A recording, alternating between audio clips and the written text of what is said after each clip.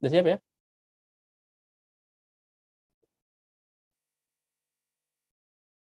Mana Kang Devi kodenya? Oh. Udah, oke. Nggak apa-apa, oke aja. Kan gampang tinggal dipotong. Bismillahirrahmanirrahim. Assalamualaikum warahmatullahi wabarakatuh. Alhamdulillahirrabbilalamin. Segala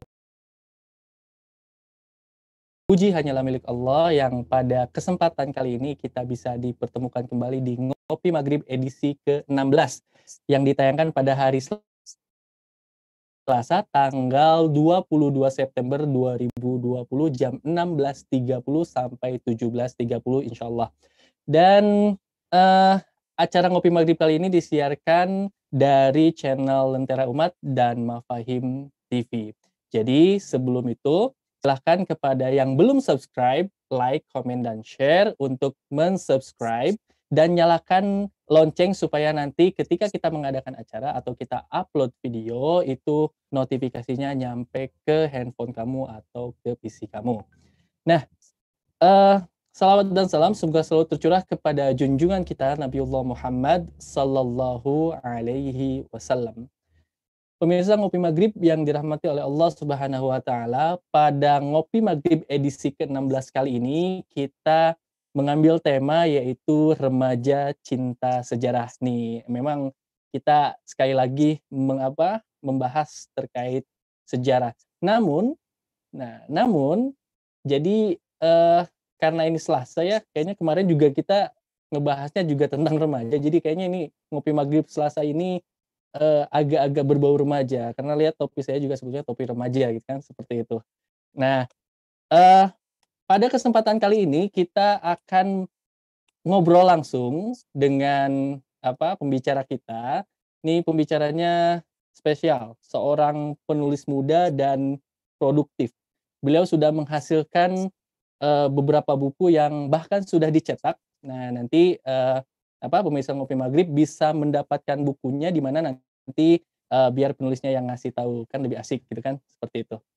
Nah, uh, saya sebutkan dulu namanya pembicara kita pada edisi ke-16 kali ini dalam tema remaja cinta sejarah yaitu uh, Ustadz Muhammad oh sorry Ustadz Saif Muhammad Isa. Beliau adalah penulis muda asal Sukabumi. Gitu. Jadi kita sapa dulu ya. Assalamualaikum. Waalaikumsalam warahmatullahi wabarakatuh, Kang. Sehat? Alhamdulillah. Alhamdulillah. Sehat, Ustaz? Sehat ya? Alhamdulillah, luar biasa Allah Akbar. Allah Akbar. Ini jawaban aktivis nih. iya, standar. Iya. Nah, Alhamdulillah, pertama-tama saya mau mengucapkan terima kasih kepada Antum uh, karena bersedia hadir di acara Ngopi Maghrib edisi ke-16 kali ini dan semoga apa yang nanti dibicarakan itu bisa menginspirasi pemirsa ngopi maghrib untuk apa ya menjadikan apa ya hidupnya menjadi lebih baik atau misalnya menginspirasi untuk menjadi lebih produktif karena setahu saya nih dari ini dari kawan saya ini Kang Devi kan antum adalah seorang penulis muda. Nah, dan bukunya udah ada nih. Salah satu mungkin karyanya itu boleh saya sebutkan ya, yaitu uh, ini saya nyontek dulu nih. ini The Chronicle of Gozi gitu ya. Terus ada juga Alphard versus Vlad Dracula. Atau mungkin yang terbaru nih, boleh saya sebutin ya, The Amazing The Amazing Rasulullah Sallallahu Alaihi Wasallam. Wow, ini luar biasa, nggak apa-apa ya, saya sebutin ya. gitu. Baik, uh, Ustadz Saif, saya menyebutnya Ustadz Saif ya, nggak apa-apa ya. Nah ini gimana nih buku-bukunya ini kayaknya yang saya sebutin itu baru sedikit gitu. Barangkali mungkin ada yang lain gitu kan. Silakan di ini dulu kita cerita dulu lah. Cerita dulu terkait gimana nih uh, awal mula antum bisa menjadi seorang penulis, terjun apa? terjun menjadi seorang penulis dan uh, berapa banyak buku yang sudah dihasilkan, inspirasinya seperti apa? Mangga, silahkan. Siap. Uh, ya makasih banyak uh, Kang Fikih dan saya juga uh, personally ya mengucapkan terima kasih banyak sama Kang Devi. Beliau adalah my inspiration lah pokoknya Kang Devi. Wow, luar biasa ya. Karena Alhamdulillah. memang Kang Devi itu uh, selalu ceria gitu, selalu ceria, Hmm, selalu betul. uh, memberikan banyak banget motivasi-motivasi, ya inspirasi-inspirasi uh, kepada adik-adik kelasnya di kelas bukan. Wah, Maksudnya kepada uh, semua siapa pun ya yang mm, mm, ada di sekitar beliau, teman-teman, rekan-rekan mm, mm. uh, sesama aktivis mesti deh ya sama Kang Dev itu dapat inspirasi, dapat motivasi termasuk saya gitu. Alhamdulillah. ya, jadi memang saya adalah Betul, uh, betul, salah seorang betul. yang mendapatkan banyak banget ya uh, motivasi-motivasi dan inspirasi-inspirasi dari Kang Devi itu Iya. beliau adalah guru kehidupan. Ya, benar itu. Kang. Dan dan ngopi maghrib juga sebetulnya terinspirasi dari beliau. Kalau kalau antum mau tahu ya, gitu. Nah, Beliaulah yang memaksa saya untuk nih jadi host ngopi maghrib. Dan alhamdulillah.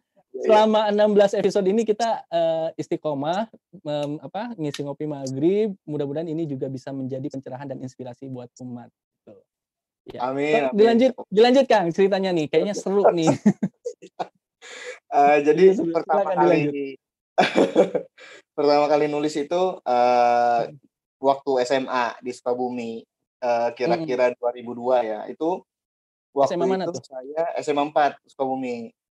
Oh SMA Ah, 4 Kota Sukabumi. Kota saya ya. angkatan Sukabumi. 2004 gitu. Oh, mm, mm, Jadi memang waktu zaman-zaman SMA itu emang em, gerak bareng ya sama Kang Devi gerak bareng, kemudian ngaji bareng gitu. Eh, forum-forum eh, keilmuan Islam itu emang kita bareng-bareng. Nah, sehingga memang eh, banyak menimba ilmu lah dari Kang Devi gitu. Nah, dari situ awal-awal kelas 2 SMA tahun 2002 di SMA 4 Sukabumi ya. Dago itu di. Dago. Dago, dago. Wah, ini Iya. yang yang banyak makanannya ya. Oh iya dong, makanya gendut Banyak begini. makanan ringan. Makanan di situ. Iya. Ah, itu di situ saya dapat waktu itu eh, lomba karya tulis ilmiah di SMA 4. Nah, Ah, cuman saya perwakilan dari SMA 4 untuk diikutkan ke tingkat Jawa Barat waktu itu. mm, mm, mm, Dapat mm, mm. juara dua gitu, juara dua tingkat Jawa Wow. Barat. Nah, Alhamdulillah. Mm, mm. kemudian saya waktu itu pas baru-baru awal-awal ngaji ya, 2002 baru Mm, mm, mm. awal-awal ngaji. oh, eh, itu semangat gitu kan. Kemudian memang tulisan-tulisan saya sangat berbau-bau berbau-bau apa aktivis begitu ya. Wah. Jadi salah satu judul karya tulis ilmiah saya itu tentang sosial dan mm, memang lombanya karya tulis ilmiah yang bidang sosial gitu.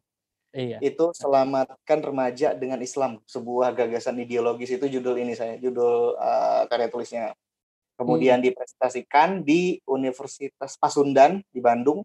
mm, mm. Nah, di situlah dapat juara dua gitu. Wow, luar biasa ya. Ketika Ber- dapat Berarti juara memang menul- menulis itu sudah hobi ya?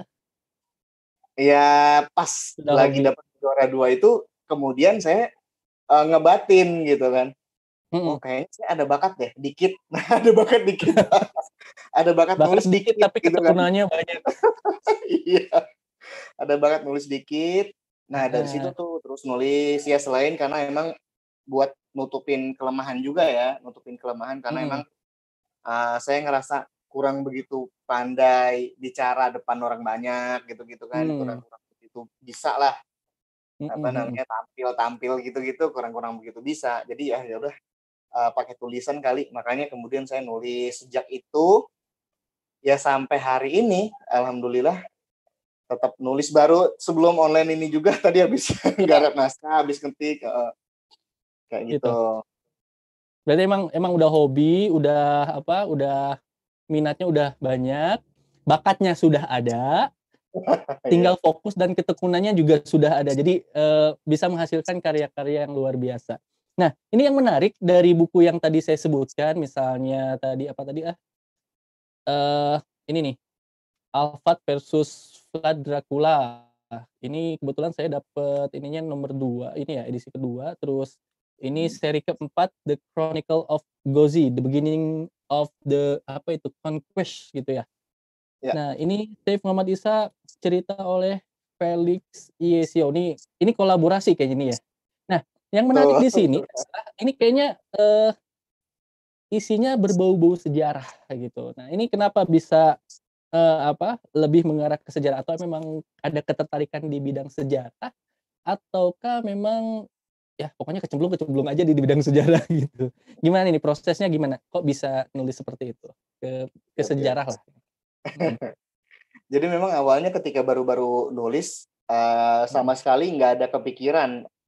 Saya mau Menulis ke bidang sejarah aja nggak ada kepikiran kayak gitu. Uh, karena nulis ya nulis aja. Yang penting waktu itu adalah um, prinsipnya itu adalah yang kita tulis itu harus kebaikan gitu kan harus kebaikan hmm, harus kebenaran hmm. gitu. Hmm. harus menyuarakan Islam gitu ya karena memang setiap hmm. Uh, perbuatan kita akan dipertanggungjawabkan di hadapan Betul. Allah Subhanahu wa taala termasuk setiap tulisan yang kita buat ya setiap kalimat-kalimat kata-kata yang kita ukirkan begitu di atas kertas misalnya itu harus mm-hmm. dipertanggungjawabkan sehingga tidak boleh menulis sesuatu yang akan membuat dosa jariah gitu bagi kita tetapi oh, kita harus menulis sesuatu yang akan menjadi pahala jariah yang kalau orang baca kemudian nanti dia terinspirasi berbuat baik misalnya terinspirasi hmm. untuk taat kepada Allah misalnya begitu. Nah, Betul. ketika itulah saya nulis itu nggak sama sekali ada pikiran mau nulis sejarah misalnya nggak sama sekali. Tapi hmm. yang penting nulis yang benar gitu, nulis yang baik begitu. Nah, karena terus nulis, terus nulis, nah, orang kan butuh um, spesifikasi ya, butuh spesifikasi, hmm. butuh spesialisasi, bukan spesifikasi, spesialisasi ya uh, penulis juga karena bidang tulis menulis bidang literasi itu luas jadi hmm. memang harus kita punya uh, satu bidang tertentu yang kita tekuni yang kita dalami ya? situ dan kita uh, terjun ke situ nah makanya kemudian uh, saya nulis terus belum ketemu belum ketemu tapi terus nulis nah sampai kemudian ada satu titik satu momen itu saya pilih sejarah gitu karena memang menarik ya, kemudian uh, dibutuhkan juga, kemudian masih banyak juga generasi kita gitu yang sangat-sangat awam terhadap sejarah, padahal itu adalah satu tema yang penting banget begitu. Nah, jadinya saya ke sejarah. Berbagai karya saya itu umumnya tentang sejarah baik di fiksi, novel-novel tentang sejarah. Di non fiksi kan kayak di Amazing hmm. Rasulullah itu non fiksi itu memang sejarah murni itu nggak ada bumbu-bumbu dialog bumbu-bumbu uh, adegan-adegan nggak ada. Emang bagaimana sejarah itulah yang dituangkan di situ.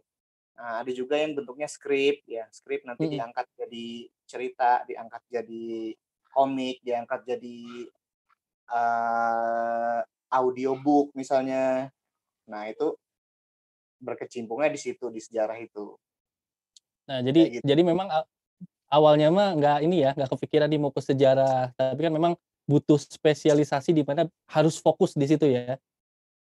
Ini ngomong-ngomong bikin buku itu apalagi tentang sejarah kan butuh gini, kayak seperti semacam apa ya, uh, verifikasi kebenarannya gitu kan. Walaupun misalnya itu fiksi tapi kan ada dasarnya gitu, ada dasarnya. Itu bikin buku yang berkaitan dengan sejarah gitu susah nggak sih sebetulnya? Misalnya harus ada riset dan lain sebagainya, gimana tuh? Ya, uh, jadi memang sebenarnya berbagai bentuk tulisan itu membutuhkan riset ya, baik risetnya hmm. riset sederhana maupun risetnya yang kompleks gitu. Hmm. Uh, bidang fiksi butuh riset, non fiksi juga apalagi ya itu memang butuh hmm. riset tentang sejarah butuh riset juga uh, tentang tentang uh, humaniora sosial kemasyarakatan macam-macam butuh riset juga hmm. semuanya hmm. gitu nah tetapi khususnya di bidang sejarah ya memang mau nggak mau harus meriset walaupun itu fiksi tetap harus riset hmm. karena uh, basicnya adalah kenyataan-kenyataan sejarah jadi memang harus yeah. baca hmm. dulu harus uh, diteliti dulu ditelaah dulu nah sehingga memang yang kita tuliskan itu berdasarkan sejarah yang dimafhumi, yang muktabar, yang disepakati gitu ya. Jangan hmm. sampai uh, menyimpang dari situ karena itu itu adabnya gitu. Hmm, iya. Kira-kira buku paling susah untuk dibikin itu terkait buku yang mana? Sejarah yang mana nih? Apakah Alphard yang versus dulu kalau nggak salah saya pernah dengar buku yang ini ya, The Draculesti itu. Ya, jadi itu Bener Itu juga ya? Iya, itu pengembangan Betul. pengembangan dari situ, pengembangan dari Draculesti. Oh, gitu. Novel saya yang pertama tentang Perang Sabil di Aceh itu dua seri. Uh -uh. Insya Allah hmm. mau diterus jadi tiga seri itu novel pertama sama kedua 2010-an, rilisnya 2010, hmm. diterbitin hmm. sama Mizan. Nah, ketika lagi garap itu ada kepikiran ntar abis ini proyek saya mau garap penaklukan Konstantinopel gitu kan. Nah, maka kemudian saya bikin berseri awalnya judulnya si Draculesti itu karena memang yang mau disorot adalah uh, si klannya si Vlad Dracula gitu kan. Nah, itu garis keturunannya namanya Draculesti. Nah, tapi kemudian ketemu sama Ustadz Felix kan, kenalan kira-kira yeah. 2010-an sama Ustadz Felix. Ketemu, kemudian ngobrol-ngobrol, saya nulis novel tentang penaklukan Konstantinopel, saya bilang gitu-gitu sama Ustadz Felix. Nah, diajakin ketemu, hmm. kemudian ngobrol di situ. Ya udah, jangan itu yang disorot katanya. Kenapa sih sorot musuhnya kata dia gitu, kata beliau begitu kan. Uh, sorot mah jagoannya katanya begitu. Kurang lebih nah udah gitu, oh ya udah deh apanya? Ya udah Gozi aja judulnya katanya gitu. Akhirnya uh, beliau supply berbagai data, informasi gitu ya secara lebih mendetil tentang penaklukan itu, tentang sosok Fatih Sultan Mehmetnya, kemudian hmm. tentang si Drakulanya, tentang top tempatnya, istana-istana segala macam beliau beri informasinya karena kan beliau udah kayak kampung halamannya itu di Turki udah mondar mandir ke situ. Dengar, gitu. dengar kabar beliau sampai udah 15 kali ya katanya. Iya betul itu kayak kampung halaman kedua setelah Palembang. luar biasa. Hafal itu, hafal banget udah di luar kepala itu tempat-tempatnya kan sejarahnya. Ketimbang orang Turki beliau lebih hafal daripada orang Turki ya, tentang uh, negeri itu gitu. Nah, nah terus uh, gitu. Ya terus gimana lagi gimana? Nah, kemudian apa? Tigo sih ada enam dari J1 hmm. sampai 6 uh, rata-rata 300 sampai 500 halaman. Kemudian setelah uh, Gozi The Amazing Rasulullah itu itu ada empat seri itu tentang Sirah Nabawiyah sebenarnya Sirah Nabawiyah tetapi dikemas nah ini yang yang terbaru yang warna merah. Ini nih yang jilid yang keempat. The Amazing Rasulullah ya edisi eh, jilid keempat ya? Oh luar biasa. Itu ada empat jilid. Puncaknya adalah jilid yang keempat itu mengisahkan wafatnya Rasulullah Shallallahu Alaihi Wasallam gitu kan? Mm-hmm. nah itu sirah nabawiyah yang dikemas secara gaul gitu kan? Gaul kemudian uh, pakai gaya bertutur yang lebih ringan, banyak gambarnya, banyak ilustrasinya, banyak infografis kayak gitu-gitu, peta, full color juga. Nah, mudah-mudahan lebih lebih kemakan gitu ya sama uh, anak muda, hmm. sama literasi Islam gitu. Karena kan memang kitab-kitab klasik itu uh, berat ya, hmm. berat. Hmm. Nah, jadinya dari segi bahasanya juga bahasa formal banget ya. Iya, bahasa kitabi gitu. Iya bahasa kitabi betul betul. Nah begini, uh, waktu itu mungkin tadi diceritakan ya tidak tidak sadar nih pokoknya bahkan bahasanya bukan tidak sadar ya kok tiba-tiba kecemplung dalam sejarah gitu kan awalnya memang tidak berniat cuman kan harus mencari spesial apa spesialisasi kan penulis itu harus fokus di uh, satu bidang apa nih nah dan antum memilih untuk uh, sejarah dengan gaya bahasa yang berbeda gitu dengan bahasa-bahasa yang bisa masuk untuk kalangan anak-anak muda gitu ya. Seperti itu. Nah, kira-kira memang tujuan antum sendiri menulis buku eh, terkait sejarah, misalnya fokusnya sejarah itu untuk pemuda itu apa sebetulnya? Motivasi dan tujuan antum fokus ke sejarah itu. yang bisa menginspirasi anak-anak muda lah. Iya.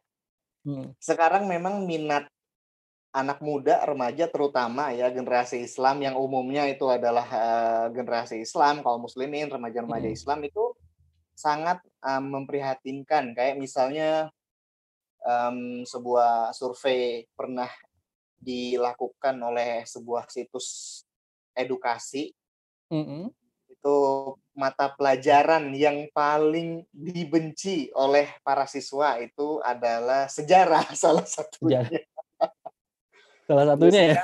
Yang paling dibenci ya selain matematika hmm. gitu ya. Nah, jadi hmm. matematika yang pertama, sejarah itu setelahnya begitu. Uh. Nah, itu karena memang sejarah itu adalah pelajaran yang super duper membosankan begitu ya, membuat orang ngantuk hmm. seperti orang didongengin kayak gitu-gitu. Yeah.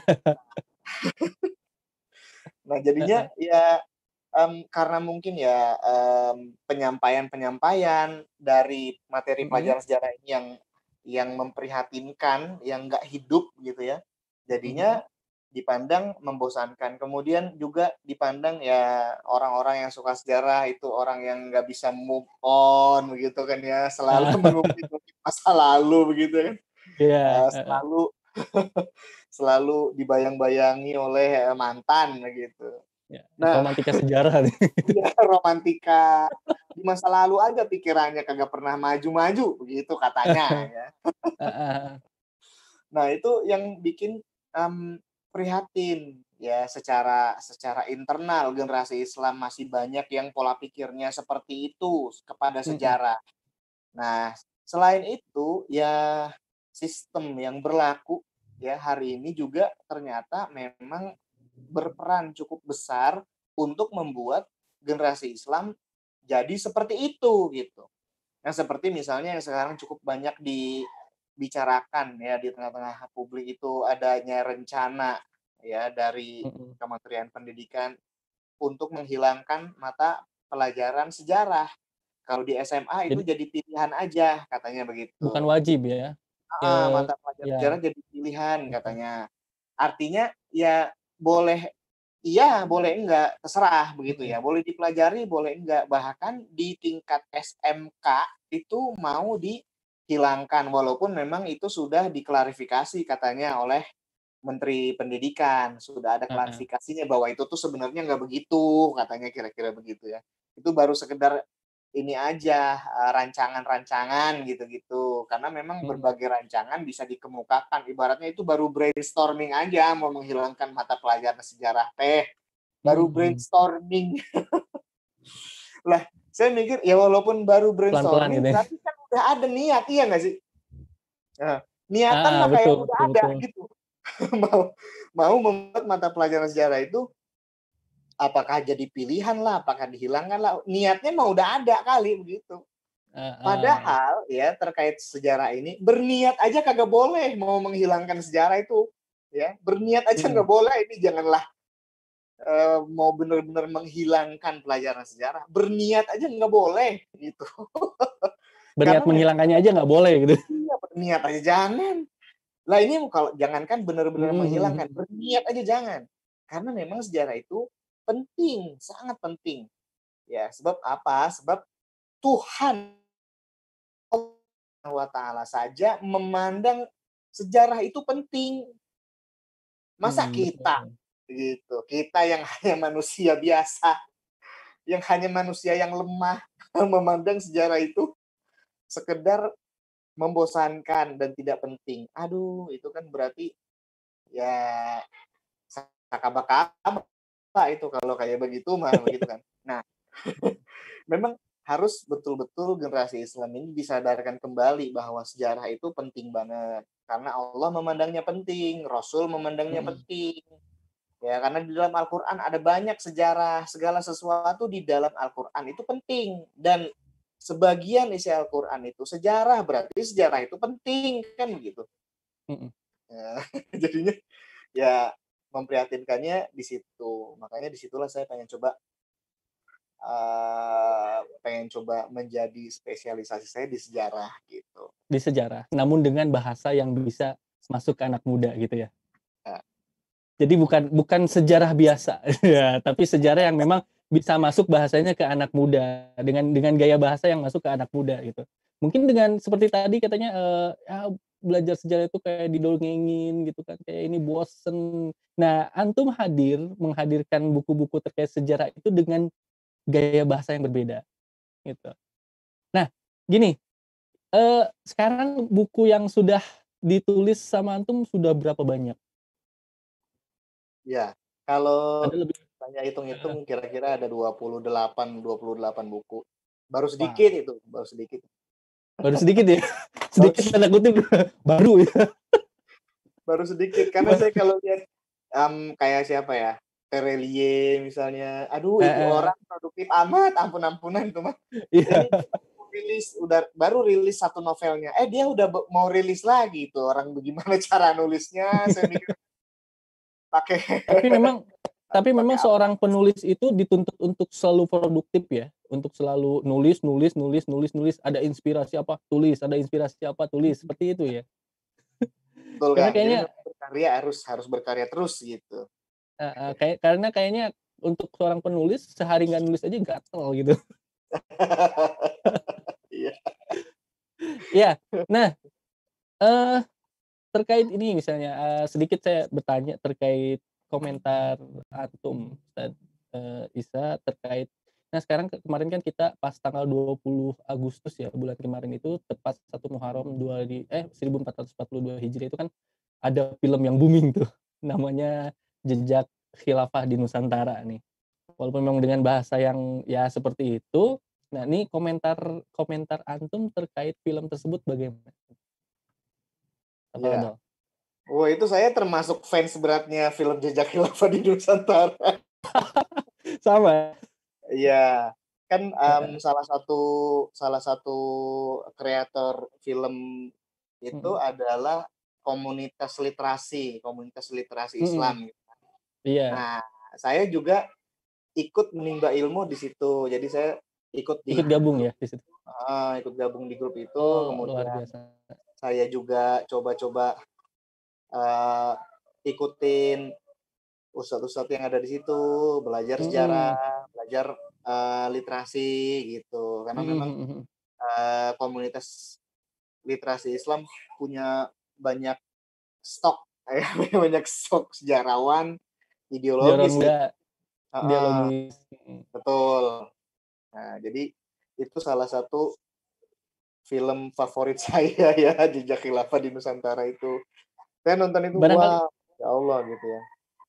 barangkali Luar mungkin mau dibikin semacam bukunya juga gitu tentang Jejak Khilafah di. Nusantara, Wah itu dengan gaya anak muda. buku bagus banget itu, bagus banget. Ah, itu nanti Kang Septian itu, Kang Septian, si Mas Niko, Heeh. Niko Pandawa, nah itu itu harus kalau menurut saya mereka-mereka harus menulis harus menulis, ya harus menulis buku. Bahkan. Saya mikir, eee, skripsinya Mas Niko Mas Niko Pandawa itu kalau Mhm menurut saya rilis aja tuh, terbitin aja. Nah itu bagus banget itu. Ya insyaallah Nah, akan enggak, maksudnya gini, mereka kan sejarawan nih, sejarawan ya sejarah kita sebut sejarawan muda, luar biasa hasil karya mereka JKDN itu, eee, bisa booming seperti itu, trending banget lah pokoknya, ya walaupun memang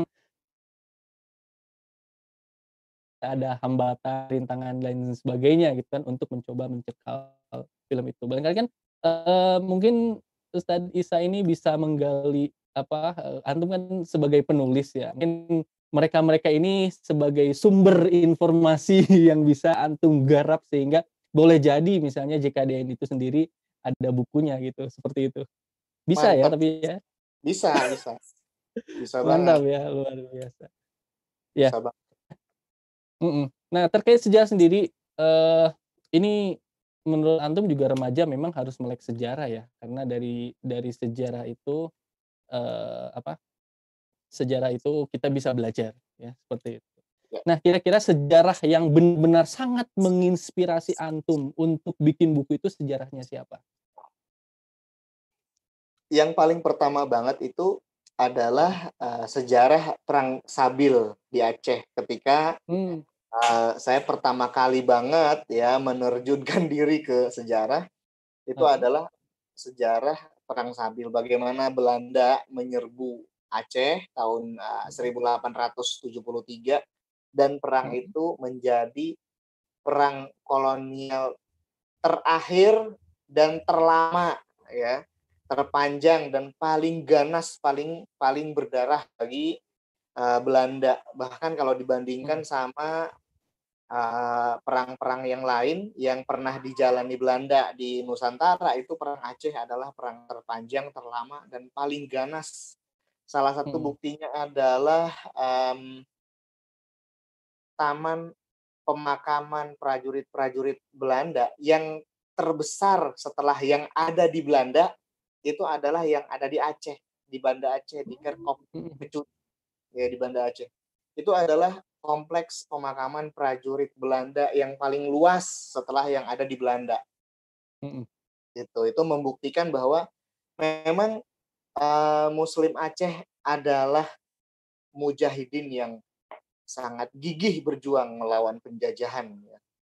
Luar biasa. Itu ketika mendalami sedikit banyak tentang, eee, perjuangan Muslim Aceh untuk menulis novel itu saya eee, apa ya, terpesona begitu, terpesona, kemudian tergugah juga. Ini perjuangan sangat luar biasa gitu. Antum sampai ke Aceh waktu itu? Enggak, saya belum ada pernah ke? Aceh ketika nggarap novel itu, eee, cuman memang belakangan akhirnya sampai ke Aceh juga waktu saya istri saya orang Medan ketika lagi mudik ya, Mhm. lagi tinggal di Medan. Nah, dari Sekalian mau ke Aceh? sekalian. Ya udah, eee, ada undangan juga riset ya? waktu itu heeh, di di Universitas Syah Kuala ya. Ada mhm undangan mhm. acara di situ, sekalian ke situ, sekalian main ke pemakaman, eee, Kerkop itu, kemudian ke museum-museumnya gitu-gitu. Mhm mhm. Jadi emang baru Nah belakangan saya ke Aceh. Tapi alhamdulillah ya, bisa ke sana juga akhirnya. Bisa Ya. melihat langsung bukti-buktinya yang ini. Nah, eee, hambatan yang paling berat atau hambatan-hambatan yang antum hadapi selama menulis buku terkait tentang sejarah itu seperti apa misalnya? Memang kalau hambatan, eee, itu salah satu yang cukup lumayan memusingkan adalah di referensi ya, referensi, Mmm, mhm. eee, terlebih lagi sejarah kan referensi-referensinya kalau bisa nih Mas, kalau bisa, eee, referensinya itu dihindari dari internet ya, dihindarilah. Kalaupun sekedar kalaupun mau ya sekedar hal-hal yang yang umum-umum, eee, tapi kalau Mhm. misalnya udah kompleks gitu ya, jangan berdasarkan kepada apa yang ada dari internet. Jadi sumbernya jangan dari internet, sumbernya Harus dari sumber kitab. premier ya? Heeh, sumbernya dari kitab, Mhm. utamakan sumber itu dari kitab, dari dari buku gitu. Karena, eee, sumber dari buku itu lebih otoritatif ya ketimbang dari internet. Kadang-kadang siapa aja bisa nulis sama di internet mah gitu. Nah, tetapi kalau dari buku, dari kitab, insya Allah mudah-mudahan itu lebih baik referensinya. Nah, tetapi memang kendalanya kadang-kadang kita sulit mendapatkan referensinya gitu. Ini ke mana ya nyari buku tentang tema ini, misalnya begitu. Kemudian setelah kita dapat pun harus kita baca dulu, harus kita Iya. telaah dulu, ditandain dulu halaman-halamannya, digarisin dulu. Nah, nggak langsung ketemu gitu ya, namanya juga buku, buku kan manual gitu ya. Mau kita mhm. cari nih halaman berapa tentang tema ini, ya harus dibuka dulu halaman demi Iya, halamannya. Nah, betul. kalau misalnya di internet tinggal pakai Google, Syekh Google, tinggal Ah. search aja, ketemu semua gitu kan. Nah, tetapi memang otoritasinya, eee, masih dipertanyakan gitu, kurang kalau misalnya dari internet. Memang gampang, memang mudah, tinggal search doang, nah tetapi kurang otoritatif gitu. Artinya lebih lebih bisa dipertanggungjawabkan ketika mencari referensi-referensi yang sumbernya dari buku gitu ya? Betul. Betul banget. Eee. Kayak film Jejak Khilafah di Nusantara, itu risetnya Mhm. Saya ngebayangin risetnya sangat luar biasa dan memang iya betul, ya sampai kawan-kawan kreatornya kan ke Aceh, ke. Jogja, ke mana-mana deh pokoknya itu untuk meriset untuk, eee, pembuatan film Jejak Khilafah di Nusantara, itu luar biasa. Luar biasa. Artinya walaupun misalnya buku antum itu terkait sejarah, walaupun misalnya fiksi yang berdasarkan sejarah lah, boleh boleh bilang seperti itu ya. Artinya memang buku itu secara ini apa, eee, itu bisa dipertanggungjawabkan gitu ya, Ya. kebenaran sejarahnya, walaupun itu Ya. bersifat apa, bersifat fiksi misalnya ada dialog-dialog seperti itu, gitu. Betul. Ya. Luar biasa. Nah, eee, terkait sejarah sendiri, kita sejarah nih, eee, menurut antum bagaimana seharusnya, eee, apa, sejarah itu bisa disampaikan kepada anak muda sekarang? Kadang-kadang kan anak muda sekarang tuh lebih hafal nama artis dibanding nama pejuang-pejuang, eee, terdahulu gitu kan, seperti itu. Kalau ditanya artis K-pop hafal, tapi ditanya, "Siapa penakluk Konstantinopel?" "Aduh siapa ya?" Iya. Seperti itu. Atau nah kira-kira, eee, supaya remaja cinta sejarah nih, kira-kira memang penyampaian sejarah itu harus seperti apa? Supaya ini sejarah juga ter apa, tidak lagi masuk dalam, eee, pelajaran yang paling dibenci. Seperti itu. Nah barangkali dari antum misalnya seperti apa? Silakan. Iya, memang memprihatinkan banget, eee, minat Mmm. remaja Islam saat ini terhadap, eee, sejarah ya.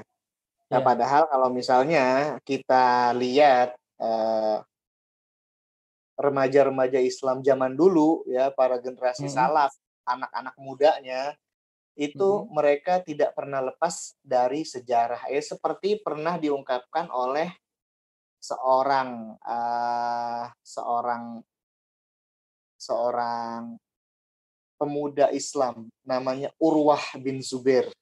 Iya, Urwah Mmm. bin Zubair. Jadi ada sahabat Rasulullah Shallallahu Alaihi Wasallam namanya Zubair bin Awam, ya pasti kita udah pada tahu, Iya. eee, beliau punya anak, itu salah satu anaknya namanya Urwah bin Zubair.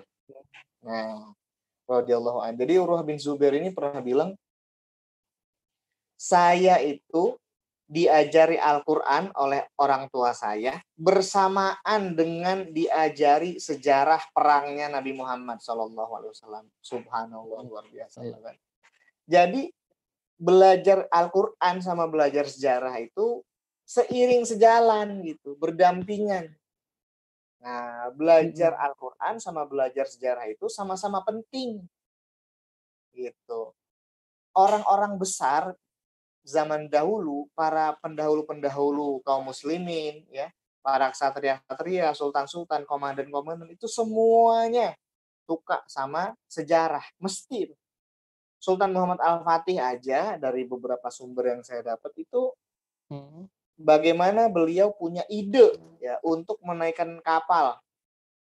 Ya, untuk menaikkan kapal itu diduga karena beliau mengetahui sejarahnya Sultan Salahuddin Al-Ayyubi yang pernah juga melakukan tindakan atau strategi siasat seperti itu gitu.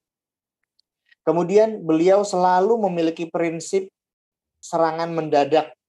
Itu karena beliau paham sejarah pertempuran Rasulullah Shallallahu Alaihi Wasallam yang memang ciri khasnya Rasul adalah serangan mendadak cepat gitu. Dan itu betul-betul dipegang kuat oleh Sultan Muhammad Al-Fatih, dipakai banget itu. Ya, jadi setiap serangan, setiap gerak pasukan perang itu harus cepat, harus mendadak dan harus menimbulkan um, efek kejut gitu ya, Mhm efek mhm. kejutan sehingga akan membuat moral pasukan lawan jatuh. Nah, generasi terdahulu suka sejarah. Nah, generasi kita sekarang memprihatinkan minatnya terhadap sejarah. Ada banyak faktor begitu ya. Ya salah satunya adalah uh, bagaimana cara penyampaian sejarah yang memang membosankan. Sejarah hanya sekedar tentang persoalan menghafalkan tahun, tanggal, nama, Nama. peristiwa, ya sekedar hanya untuk mengerjakan soal. Begitu.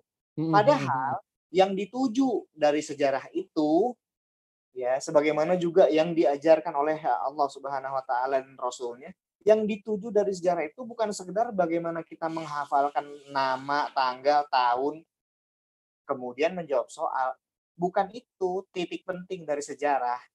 Tetapi sejarah itu ya sebagaimana diajarkan Allah dan rasulnya adalah untuk diambil nasihatnya, diambil ibrohnya, diambil pelajaran di situ begitu.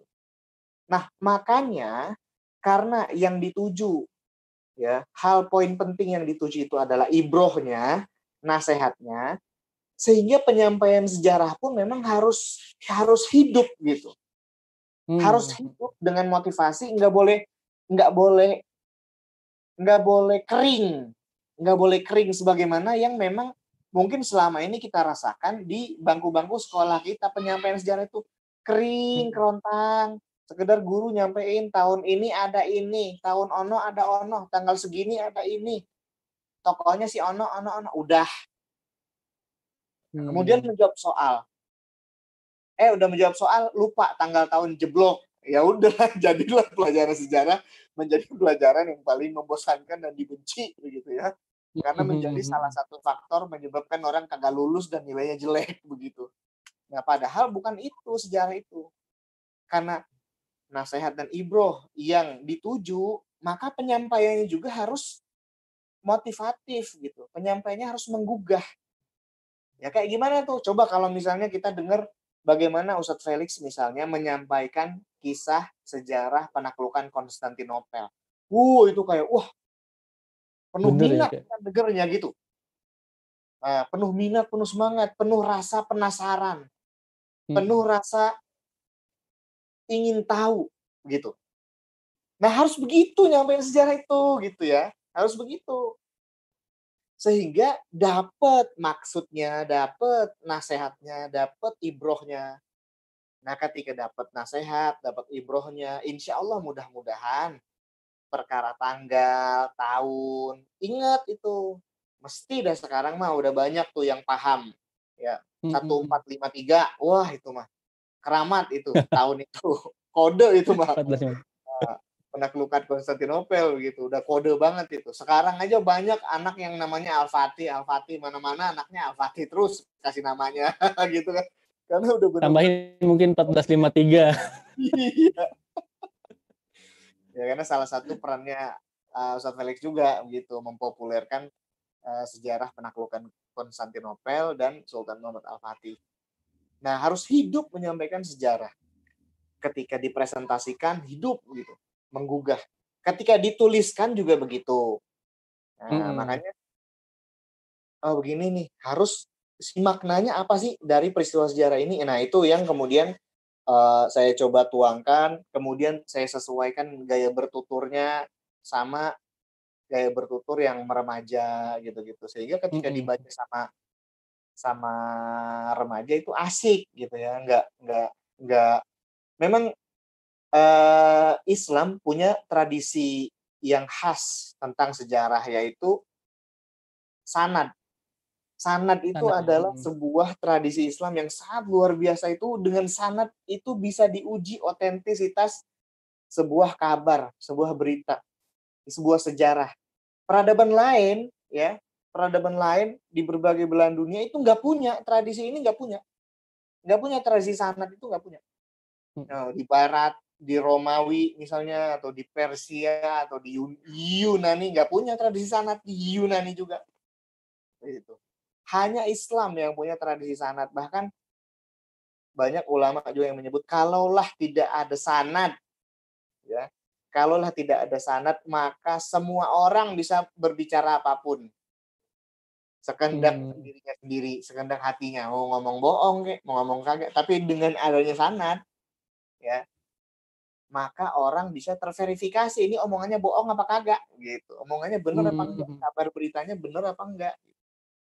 Nah, jadi validitasnya bisa dibuktikan ya? Betul, validitasnya bisa dibuktikan. Bisa dibuktikan dari penutur pertama dari saksi mata. Nah, uh, saya ngelihat ini yang bilang dia, dia tuh saksi mata. Ah, begitu. Ntar sini sini. Kamu bilang siapa ini? Yang bilang siapa ini? Nah, makanya bisa dibuktikan validitasnya. Nah, di situ memang nanti akan uh, tercipta kitab-kitab yang sebagaimana udah kita kenal sekarang ya kitabnya itu hmm. pakai sanad. Nah, cuman memang berat yang kayak gitu ya. Bagi pembaca remaja apalagi gitu. Nah, makanya saya sarikan karya-karya hebat para ulama tersebut. Kemudian saya bikin kayak semacam rangkumannya gitu ya. Hmm. Nah, di situlah yang kemudian saya coba tuang dalam bentuk tulisan, buku, artikel. Itu yang lebih udah disederhanakan aja sebenarnya. Jadi pokoknya tinggal menikmati ya remaja itu. Nah, sa ada satu ini, ada satu uh, apa ya, Mbak, sebutnya pendapat atau gimana, bahwa sejarah itu memang tergantung dari penulisnya, artinya bersifat subjektif. Nah, menurut antum nih betul atau tidak pernyataan seperti itu? Iya. Jadi, uh, pernah juga saya dapat penjelasan tentang hal ini dari, uh, Ustaz Ismail Yusanto, hafizahullah uh. taala gitu. Jadi beliau menjelaskan bahwa sejarah itu adalah second hand reality. Ya, yeah, keren ah. banget bahasa. second hand reality. Istilahnya keren ya? Padahal Apa saya juga second hand, itu. second hand reality. Jadi nah. second hand reality itu adalah kenyataan tangan kedua gitu. Hmm. Kenyataan tangan kedua. Uh, ketika kita menikmati sejarah, membaca kisah-kisah sejarah, maka apa yang kita nikmati, apa yang kita baca itu adalah sesuatu yang disajikan oleh tangan kedua gitu. Ya, bisa jadi dia menyaksikan langsung kemudian cerita sama kita, kemudian kita menuliskannya dibaca orang-orang gitu. Jadi itu hmm. adalah realitas tangan kedua yang kita nggak melihat itu secara langsung, tetapi dia melalui penglihatan orang Nah, melalui penglihatan orang makanya second hand reality disebutnya. Nah, karena sejarah itu second hand reality, berarti memang betul dia itu dipengaruhi oleh seperti apa latar belakang orang yang mengungkapkannya hmm. gitu. Seperti apa latar belakang kehidupan orang yang mengungkapkan itu. Afiliasinya ke mana, ke mana misalnya gitu. Iya, ke mana afiliasinya, kepada siapa dia berpihak. Maka itu akan mempengaruhi catatan-catatan sejarah yang dia wariskan kepada kita hmm. gitu. Seperti misalnya ada satu ilustrasi bagus sekali tentang penaklukan uh, Konstantinopel misalnya. Hmm. Fakta yang diceritakannya itu uh, adalah momen yang sama yaitu penaklukan Konstantinopel. Tetapi sejarawan-sejarawan yang menulis terkait peristiwa itu bisa menuliskan dengan impresi yang berbeda-beda begitu. Kayak misalnya catatan-catatan tentang penaklukan Konstantinopel yang ditulis oleh Doukas misalnya atau Kritofoulos atau Lukas Notaras misalnya. Itu banyak yang terkesan menyudutkan Sultan Muhammad Al-Fatih Nah, banyak yang terkesan menjelek-jelekan Turki Utsmani. Banyak yang terkesan menganggap bahwa ini Turki Utsmani adalah kekuatan tempur yang akan menghabisi, memporak-porandakan Konstantinopel. Kenapa? Karena orang-orang yang menulisnya ini adalah orang-orang yang memang tinggal di kota itu, mereka merasakan suasana mencekam karena adanya penaklukan itu, dan mereka berpihak kepada Kaisar Konstantin 11 hmm. Palaiologos begitu. Dia berpihak kepada Konstantinopel, makanya ya akan menganggap bahwa Sultan Turki Utsmani ini jahatnya habis-habisan begitu. Makanya yang akan mereka tulis juga ya kayak kayak gitu gitu bahwa Sultan Utsmani ini kejam ampun-ampunan gitu. Nah, lain halnya dengan apa yang ditulis oleh um, sejarawan-sejarawan yang ketika itu ditugaskan oleh Sultan Muhammad Al-Fatih ya secara official gitu bahwa mereka itu memang ditugaskan untuk menulis. Nah, mereka ikut di dalam ekspedisi penaklukan Konstantinopel itu bersama pasukan mereka hadir, mereka hmm. melihat, menyaksikan pertempuran itu, mereka tulis. Nah, salah satunya kalau nggak salah itu nama penulisnya itu namanya Eulia Celebi. Nah, dia ini menulis ya bagaimana gerak penaklukan itu dari hari ke hari gitu. Nah, hmm. tentu catatan-catatan sejarah yang ditulis oleh orang-orang ini punya sudut pandang yang berbeda-beda, punya kesan impresi yang berbeda-beda gitu. Ya Eulia Celebi bakal nulis bagaimana ya dari sudut pandang Turki Utsmani. Nggak mungkin mereka jelek, dia jelek-jelekin Sultan Al-Fatih begitu kan karena dia hmm. seorang muslim, dia juga melihat bagaimana uh, gerak penaklukan itu gitu gitu. Nah, jadi memang betul kalau ada rezim misalnya dia berkuasa, ya akan dia buat sejarah-sejarah akan dia pilih sejarah-sejarah yang mendukung kekuasaannya, mendukung pemerintahannya begitu. Nah, di sinilah hmm. makanya memang kita mesti pandai-pandai memilih referensi gitu. Mm-hmm. Meneliti, ya dihimpun referensinya, ditelaah satu-satu. Kemudian kita ambil kesimpulan yang mana gitu kan yang mau kita angkat. Oh, yang ini lebih sahih misalnya. Iya, iya. Terus kita seleksi. Kayak gitu. Luar biasa ya. Ternyata memang nggak mudah gitu. Dan sekarang ada bukunya, seharusnya kita juga bisa lebih antusias gitu ya terhadap eh, apa terhadap sejarah itu sendiri. Baik, pertanyaan terakhir. Kira-kira bisa mendapatkan buku antum itu di mana? Barangkali pemirsa ngopi maghrib ini berminat untuk membaca buku-buku yang memang sudah antum tulis, buku-buku dengan bahasa yang sederhana namun mengena gitu. Buku-buku sejarah yang bisa menambah uh, wawasan, bisa mengambil seperti kata antum tadi bahwa tujuan dari sejarah itu adalah bisa mengambil ibroh, nasihat atau pelajaran. Nah, pertanyaan saya justru di mana bisa mendapatkan buku antum itu? Toko buku apa misalnya seperti itu di mana? Ini juga info penting loh buat ini buat ya. pemirsa ngopi maghrib. Jangan dipotong ya.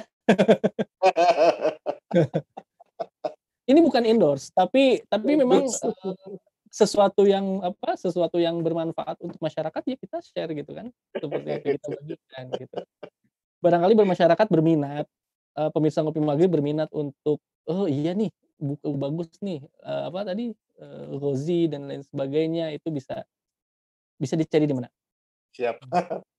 Jadi uh, beberapa bisa, bisa didapat di Gramedia ya kayak Sultan Muhammad Al Fatih tentang Sultan Solo uh -huh. dan Layubi itu uh, saya lihat beberapa hari yang lalu itu masih ada di Gramedia walaupun memang karena uh, sekarang lagi wabah kayak begini ya, lagi pandemi hmm, kayak hmm. begini memang jadi agak-agak terbatas gitu di Gramedia begitu. Nah, tetapi memang umumnya bisa didapat secara online, bisa pesan, terus nanti hmm. dikirim pakai ekspedisi gitu ya. Nah, itu ke mana pesennya? pesennya, pesennya ke publishingnya langsung kayaknya ya, karena saya gitu. uh, gak pegang penjualan, saya taunya nulis doang. saya taunya nulis doang. Gak itu kalau online kayak gitu di marketplace atau gimana?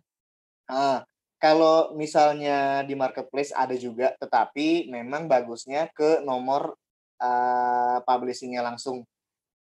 Oh. Itu saya nomor. Boleh. Jadi nomor itu di saya saya sebutin ya di 0819 059 84665.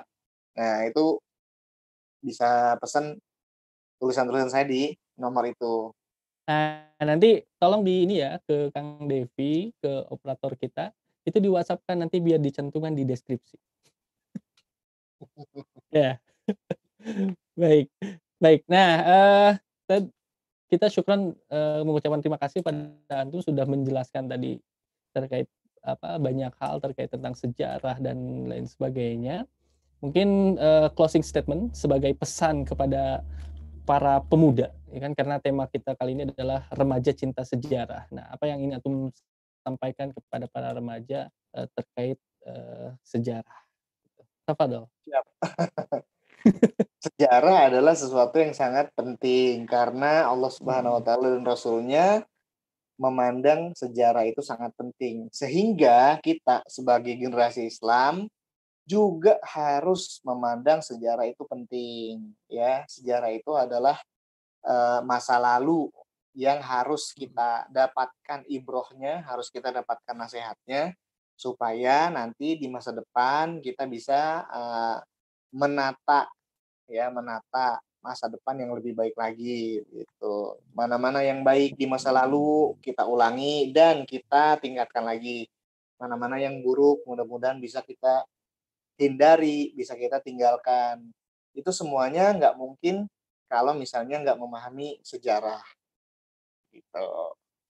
Baik, ya. Syukran jazakallah kepada Ustadz Saif Muhammad Isa uh, yang telah uh, memberikan penjelasan terkait sejarah dan bagaimana seharusnya pemuda itu mencintai sejarah. Bahwa sejarah bukan hanya sekadar menghafal angka tahun, menghafal nama juga menghafal peristiwa, tapi sejarah lebih daripada itu bahwa kita harus mengambil ibroh, harus mengambil pelajaran atau harus mengambil nasihat yang bisa kita petik dari peristiwa sejarah tersebut. Ini yang paling penting untuk menata masa depan kita.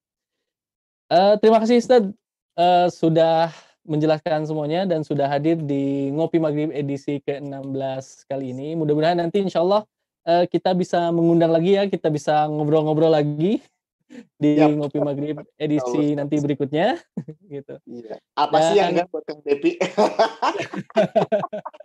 Alhamdulillah gitu. Iya. Baik. Ya, uh, pemirsa Ngopi Maghrib yang dirahmati oleh Allah Subhanahu wa taala, demikian diskusi kita dengan Ustadz Saif Muhammad Isa.